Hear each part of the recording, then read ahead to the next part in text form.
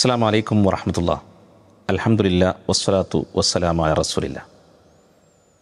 പ്രസിദ്ധ കനേഡിയൻ എഴുത്തുകാരനും മോട്ടിവേറ്ററുമായിരുന്ന റോബിൻ ശർമ്മ അദ്ദേഹത്തിന്റെ ജീവിതാനുഭവങ്ങളെക്കുറിച്ച് എഴുതിയ ഒരു പുസ്തകത്തിൽ മകനെക്കുറിച്ചുള്ള ചില വാചകങ്ങൾ അദ്ദേഹം വരച്ചിടുകയുണ്ടായി. ഫാദേഴ്സ് ഡേയിൽ തന്റെ മകൻ കോൽബി സ്കൂളിൽ നിന്നും അവൻ തയ്യാറാക്കിയ ഒരു കാർഡുമായി അദ്ദേഹത്തെ സമീപിക്കുകയാണ്.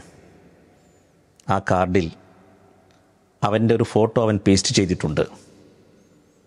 അതിൽ അവന്റെ ചില കൈമുദ്രകളുണ്ട്. ആ ഫോട്ടോക്ക് താഴെ അവൻ എഴുതിയ വാചകങ്ങൾ. ചെറുപ്പത്തിൽ ഞാൻ നിങ്ങളെ ഒരുപാട് പ്രയാസപ്പെടുത്തിയിട്ടുണ്ട്. വീട്ടിലെ ചുമരുകളിൽ ഫർണിച്ചറുകളിൽ എന്റെ വരകളും കൈമുദ്രകളും കാണാം. പക്ഷേ ഞാൻ വളരുകയാണ്. ആ വരകളും കൈമുദ്രകളും കുറച്ചു കഴിഞ്ഞാൽ മാഞ്ഞു പോകും. അതിനാൽ ഈ കാർഡിൽ എന്റെ അവസാനത്തെ ഒരു കൈമുദ്ര കൂടി കിടക്കട്ടെ. കാലമേറെ കഴിയുമ്പോൾ ഈ കൈമുദ്രകളെല്ലാം മാഞ്ഞു പോകും. അപ്പോൾ നിങ്ങൾക്ക് എന്റെ കൈവിരലുകൾ കൈമുദ്രകൾ ചെറുപ്പത്തിലേത് എങ്ങനെയായിരുന്നുവെന്ന് ഇത് കണ്ട് ഓർക്കാൻ പറ്റുമല്ലോ. സ്നേഹത്തോടെ മകൻ കോൽബി. ഇതായിരുന്നു അതിലെ വാചകങ്ങൾ. തന്റെ മകനെക്കുറിച്ച് റോബിൻ ശർമ്മ വളരെ സന്തോഷത്തോടെ എഴുതി ചേർത്ത ഓർമ്മകളാണിത്. പ്രിയപ്പെട്ടവരെ മക്കളെന്നത് നമുക്ക് ലഭിച്ച വലിയ ഒരു ഗിഫ്റ്റാണ് സമ്മാനമാണ്. അള്ളാഹു നൽകിയ വലിയ അനുഗ്രഹമാണത്. എത്ര പെട്ടെന്നാണ് അവർ വളർന്നു വലുതാവുന്നത്. ലേബർ റൂമിന് മുമ്പിൽ തന്റെ പ്രിയ കുഞ്ഞിനെ കാത്തിരുന്ന സന്ദർഭം. ശൈശവത്തിന്റെ മനോഹര ഘട്ടങ്ങൾ കടന്നുപോയത് ഇതെല്ലാം ഈ അടുത്ത് സംഭവിച്ചതുപോലെ പെട്ടെന്ന് പെട്ടെന്ന് അവർ വളർന്ന് വളർന്ന് വലുതാവുകയാണ്.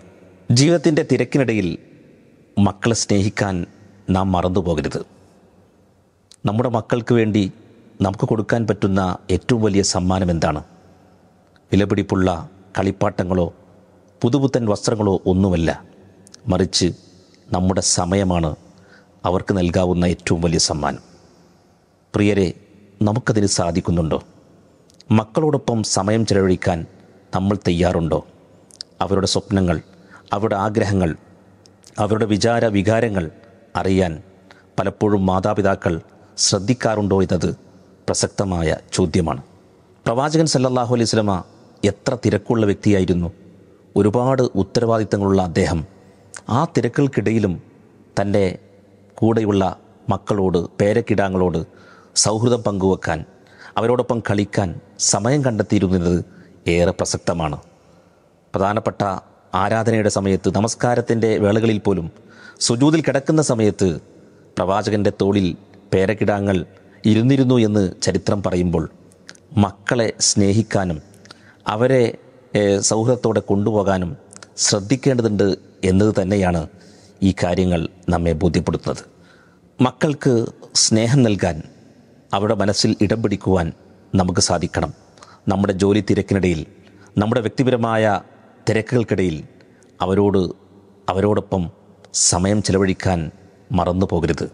സ്നേഹം നൽകുക സ്നേഹിക്കുന്നവരാവുക മക്കളെ നല്ല രൂപത്തിൽ വളർത്തുക.